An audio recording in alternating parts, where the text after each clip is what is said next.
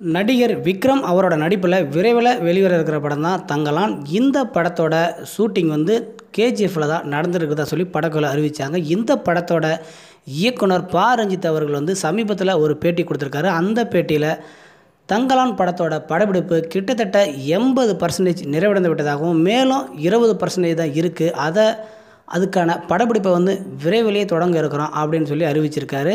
பாரஞ்சித் அவர்கள் எப்படின்னா உங்களுக்கே நல்லா தெரியும் ரஜினியை வச்சு இரண்டு தரமான படங்களை கொடுத்தவர். மேலும் சர்ச்சைக்கும் சாதிய விஷயமான பேச்சுக்களுக்கும் ஏகப்பட்ட விமர்சனங்களையும் இவர் எதிர்கொண்டவர் அப்படின்றது உங்களுக்கு தெரியும். மேலும் பாரஞ்சித் அவர்கள் வந்து இந்த தங்கலான் படம் வந்து இந்த வருடத்தோட இறுதியில் வரலாம் அப்படின்னு சொல்லி ஒரு நல்ல அப்டேட்டை கொடுத்துருக்காரு. தங்கலான் படத்துக்கு நீங்கள் எந்த அளவுக்கு வெயிட் பண்ணுறீங்க பாரஞ்சித் அவர்கள் இதற்கு முந்தைய படத்தில் எப்படி சாதி சம்மந்தப்பட்ட விஷயங்களை பேசியிருக்காரு. அது உங்களுக்கு பிடிச்சிருக்கா இல்லையா? மேலும் தங்கலான் படத்தில் எதை பற்றி பேச போகிறாரு இதுலேயும் சாதியை கண்டிப்பாக கொண்டு வருவா இல்லையா? உங்களுடைய எதிர்பார்ப்பு என்ன அப்படின்றத கண்டிப்பாக நிச்சயமாக நம்மளோட கமெண்ட் பாக்ஸில் பதிவு செய்யுங்க. நன்றி வணக்கம்.